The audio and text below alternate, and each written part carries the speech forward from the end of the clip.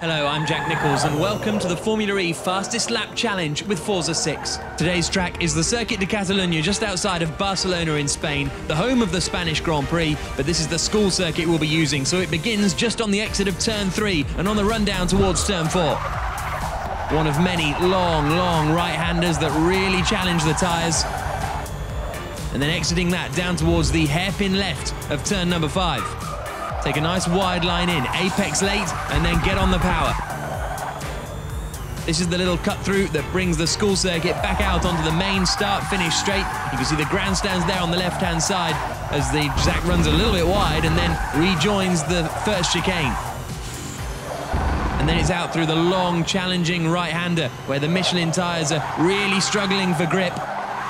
Keep turning, keep turning, and then eventually straighten it out and come across the line. So the lap time at the Circuit de Catalunya school circuit, set by Zak Scholes, is a 45.159. Can you do better? Upload a screenshot or post your lap time as a comment. See you next time.